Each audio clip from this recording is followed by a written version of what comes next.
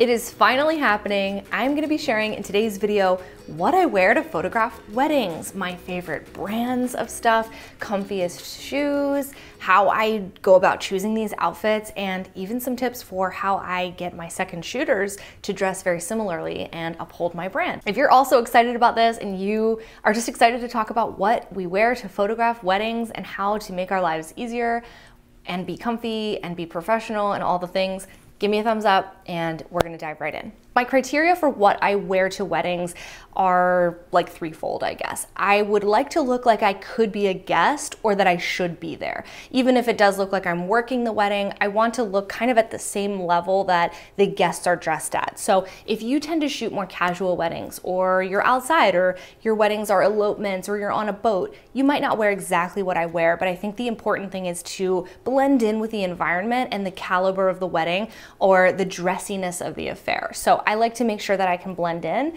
The second is that it needs to reflect my brand. So I wanna make sure that the patterns, the fabrics, the cut, um, how it literally looks on me reflects the words that I'm trying to uphold and the message that I have in my brand. So this is going to be specific to every single photographer, right? And that's why it's so important to know what makes your brand unique, what your message is as a photographer, and how you can live that out in your attire. And then the third thing is I want to be comfortable and free to move. I want to be able to sit down and you know move around and wear my double harness and not feel like it's rubbing against my arms or anything like that. So I got to be comfortable. I've got to be representing my brand and I've got to be blending in with the guests. So that's my criteria for how I choose all of these things. So I just wanted to cover that first and foremost just to give you an idea of like where I'm coming from and how I pick these items out.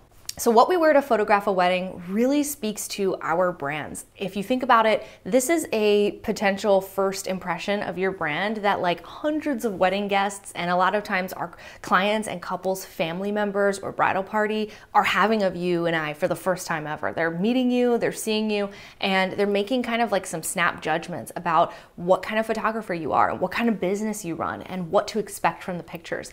So dressing to reflect your brand and make sure that that you're sending all the right messages is super, super important.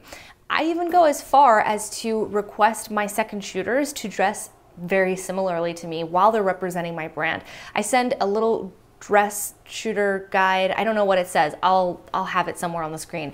Um, but essentially, I just want them to know what kind of weddings we're going to be at because I don't typically photograph anything casual, my um, dress code is a bit more like dressy, I guess. It's higher end, and I just want to make sure that I don't have second shooters that roll up in flip flops and a sundress, where that might be a fine fit if you're in a field somewhere and it's just open air and it's very casual or maybe you're on a farm or something like that. It's a different vibe than if you're at the Four Seasons, right? And it's black tie. So I just wanna make sure that my seconds and my second shooters and anyone on my team is representing my brand well. So that's something to think about for your company too. So we're gonna go through my favorite dresses, skirts, tops, what I wear to weddings, and why I've chosen these specific pieces. So let's start with dresses. My go-to wedding attire is a really classic work dress and my favorite brand of all time for this staple dress i have it in black i have it in blue um, it's the right length it's just it's perfect is by Calvin Klein. And I have found this dress at Marshall's and TJ Maxx. You can also get it online at like Macy's and some of these big box stores as well.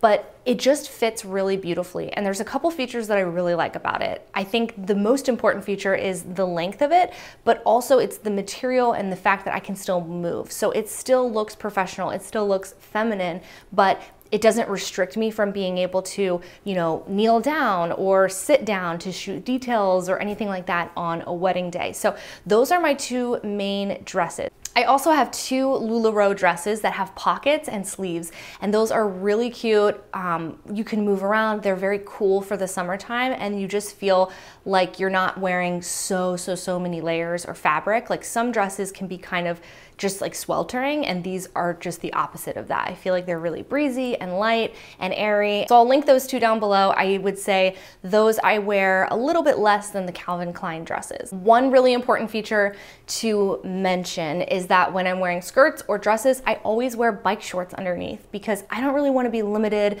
um, and feel like I can't crouch down or climb or do anything that I need to do as a photographer. So I feel like wearing bike shorts underneath is necessary. So you may have noticed that the weddings that I have photographed in 2019, I switched up my outfits a little bit. I started wearing a lot more pants and skirts with blouses. And the reason for this is simply I'm a breastfeeding mom and I need to pump at weddings. And while I love the Calvin Klein dresses, they're not easy for me to zip and unzip super quickly by myself. So I needed to be able to pump in cars, in bathroom stalls, and wherever it just happened to happen on a wedding day. So I've started wearing skirts. My skirts are from J. Crew and Nordstrom, and the blouses are H&M. And really, I think blouses you could kind of do anything, whatever works for you, whatever works for your body type. But I have found that wearing skirts getting the right length of a skirt that will work for a wedding photographer, that is tricky. And so I have had really, really good luck at J. Crew. So in the fall and the winter and even early spring before it gets really hot around here, I definitely do wear pants. And I have worn pants for a couple of my weddings um, last year. And I have these pants, I'll link them down below, but the feature that I really like about them is that they're kind of loose and they're very breathable and I can move around in them. But the best part is that they have a zippered pocket. So if I put batteries or a memory card or something like that, I can zip the pocket completely shut.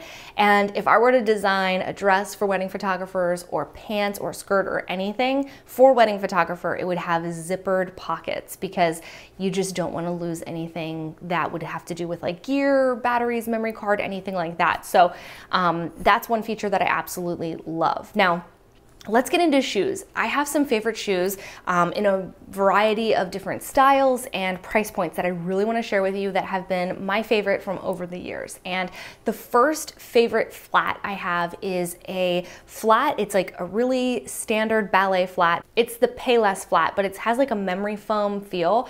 Really classic, really affordable, and actually pretty comfortable as far as flats go. The other flat that I love is from Rothy's and when it comes to boots, I actually really, really like Clark's memory foam. So if I'm in pants, again, winter, anything kind of cooler weather, I will wear boots because you can have a little bit of a heel and that really cushions your foot. Um, or for a reception, I'll switch my shoes and that's another great way to keep those pressure points off of your feet. So you can start out the day with one flat and then change to another. And and one flat that I really like for receptions is Tom's. So I will wear Tom's. And I also have another black flat that I wore at a lot of weddings. I will put a picture here and I'll link them down below. And they were just from DSW. The other thing that I do bring to weddings is boots, like rain boots, because you never know. And I always bring these along. These are just from Amazon, really classic. I feel like they would go with kind of anything and they're not super distracting or colorful like most rain boots are. One company that I don't have any dresses from, but I keep seeing online. And if you're looking for kind of a longer, like classic dress that just has a lot of movement, it's feminine and it looks easy to photograph weddings in is by Virginia Dare Dress Co. I will link them down below. Their stuff just looks really beautiful. The only reason I don't have a dress from them is because I have already found things that work for me and for my business and for my brand, and I really don't need more options. But their dresses are beautiful, and they even have a wrap dress option, which would be really convenient for pumping at weddings or breastfeeding.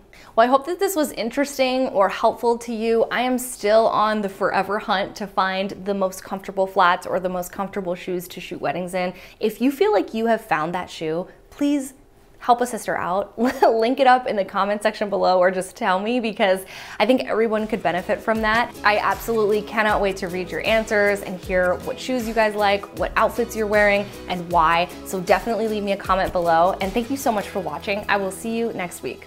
Bye guys.